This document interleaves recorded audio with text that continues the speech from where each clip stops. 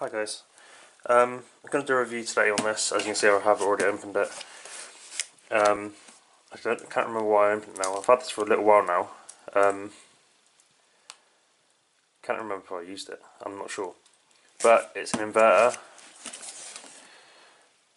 There's the uh, make. There's the details up there. So it's a thousand watt, okay, and it's a pure sine wave inverter. So it's not modified. So pure sine wave uh, is what you get with your house mains. Um, uh, appliances working properly, something like that. modified is where you get lights flickering, um, and you hear like chargers, stuff like that, buzzing and whatnot. There's the user manual. Don't know which one this one is to be honest. It's just basically telling me how to set everything up, but kind of already know how to do that. So um, this is quite a good diagram actually. So here's max watts of, of devices. Okay. Uh, volts, what battery they recommend, and runtime. So, even though it only goes to 1200 watts, either 850 or 1200 watts. Sorry guys, I'm feeling a bit ill today, so I'm struggling to talk. So, say you've got um, 1200 watts of power being used on 12 volt with a 120 amp hour battery, it will last 53 minutes. If you've got 1500 watts of power being used on 12 volt uh, with 120 watts, um, sorry, 200 amp hour, that will last 1 hour 10 minutes. So it kind of gives you a good idea of how long things last for. That's quite good that actually to be honest. Not uh yeah this one here also comes with a controller which is nice because it runs off Ethernet cable so the Ethernet cable plugs into it. Yeah Ethernet cable plugs into it the controller and so basically you don't actually have to have your power inverter on so okay got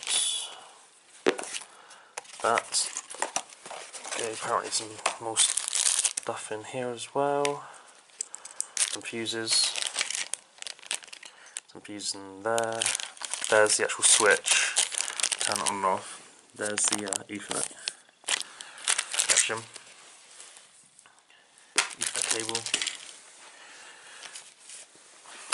And here I'm guessing this is where the power leads are on this one.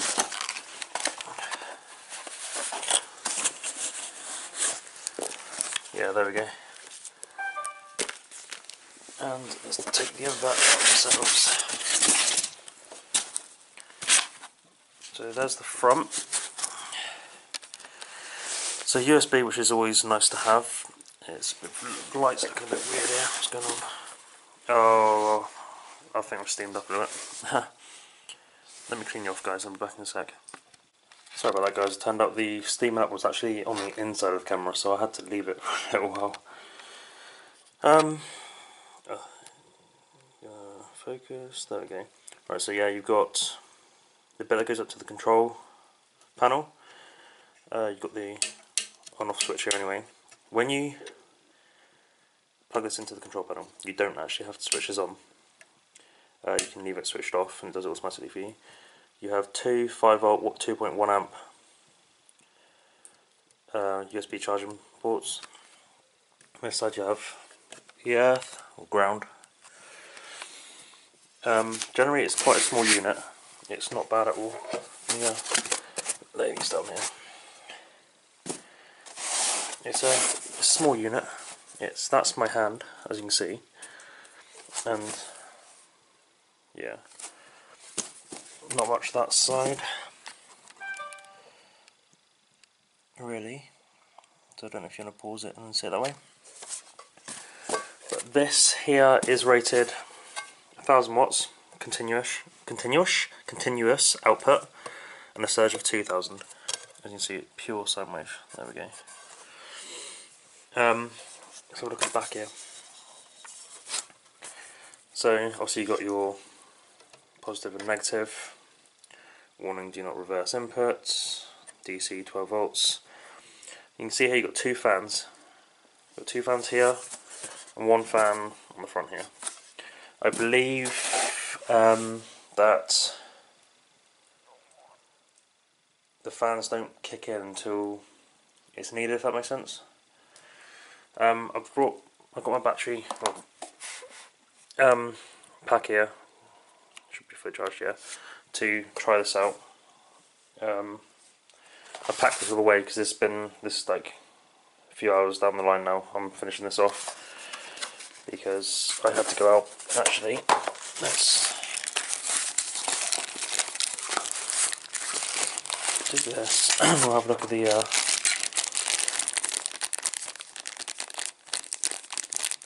have a look at the actual control unit. Oh, it's hard one hand. Sec, guys.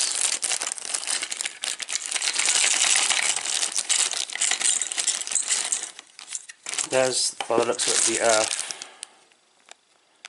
or the ground. So there's the back of it. And there's the front.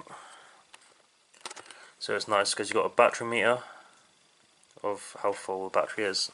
Low input voltage and on and off. I believe on this one here as well, you have uh, like a backlight here that stays permanently on so you know where the on off switch is which is nice.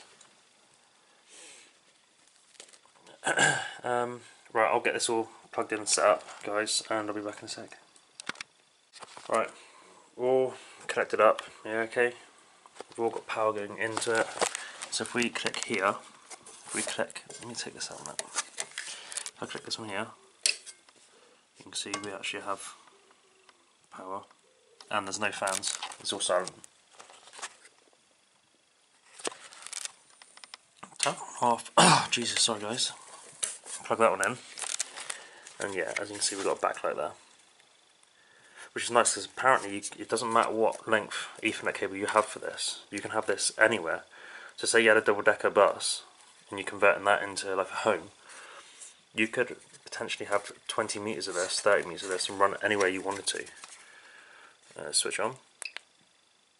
Don't know if you can hear that.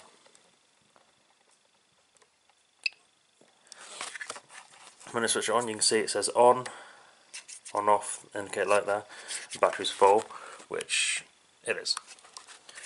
Um, so yeah, that's nice. What I want to try to do next is I want to see if this charges without having this on to save on battery life, obviously.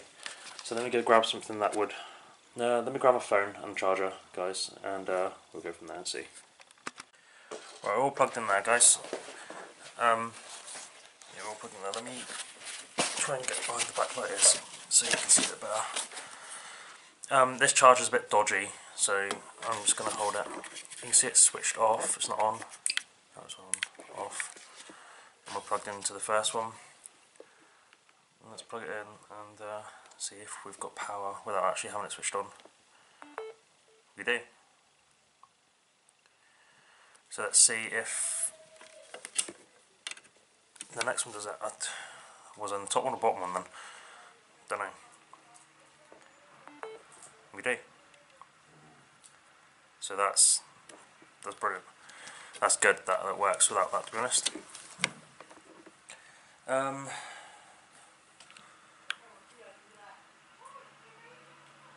trying to think what I can use now to see if that works.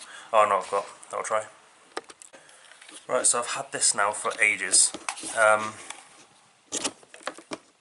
probably recognise it from some other videos. It's for USB charging, uh, you can charge up to 8 basically. Uh, there's nothing on at the moment. So let's switch on from here first and see what happens.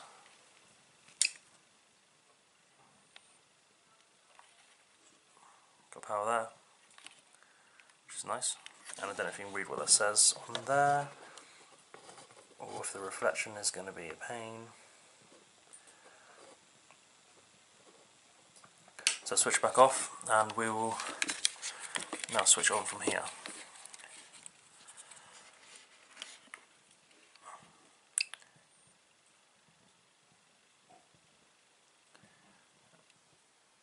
And as you can see, it probably didn't light up because it probably didn't lose actual current, but you can see it's it is charging. So let's plug this in here and plug a phone in. I don't think I'm going to have anything that will properly charge up, um, test this yet because I can't run off this booster pack because it's not meant for that sort of thing. Let's see if it works. Um, it does. Nice. So yeah, um, it's good to have it as a backup, guys, because um, you never know when you're going to need it in case of a power cut or or anything like that. Um, I, it's it's going to be a quick review for that from that because I'm going to get a, a battery charged up and come back to it to see what sort of power it does and wait to see if we can hear fans kick in and stuff like that. But it's nice because it's working well and well, working as well as I know so far. But like I said, um, we'll come back to it. We'll do like a a thing where we come back to it to see how it's doing, this, that and the other. Um, to be honest, I didn't pay a lot for this. I think. I think I only paid a hundred pound for it. For a pure sine wave, it's insanely cheap. For a thousand watt one as well. I mean, one sec guys, let me just get this lead off. Yeah, generally all in guys, it's it's cheap and it's compact, okay?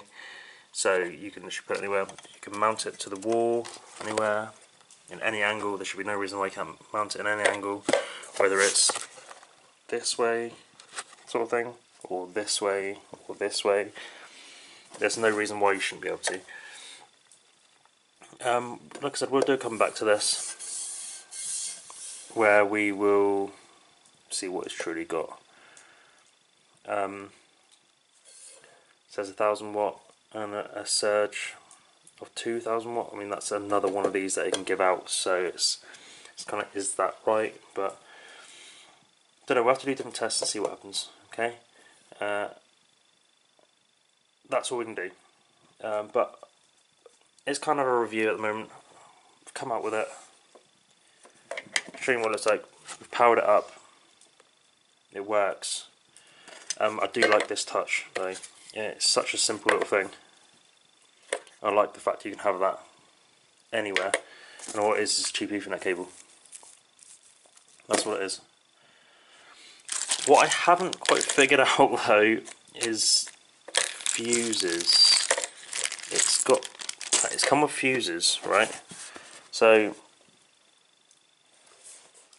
does that mean you have to open the thing up to replace the fuses? Or is that for... What, what size is that? That's a... A 35. There's a 35 amp fuse. So is that for when you've got it installed in the car or something? I don't know. Um, but yeah, it's not a bad looking thing to be honest. It's alright, it's not bad at all. But yeah, that's it guys. Like I said, we'll do a thing where we come back to it and see what it can actually do and handle and stuff like that. And we'll go from there. It might be a case it might be able to handle 1500 watts or 1200 watts continuous power. Uh, we don't know. We'll have to try it and find out.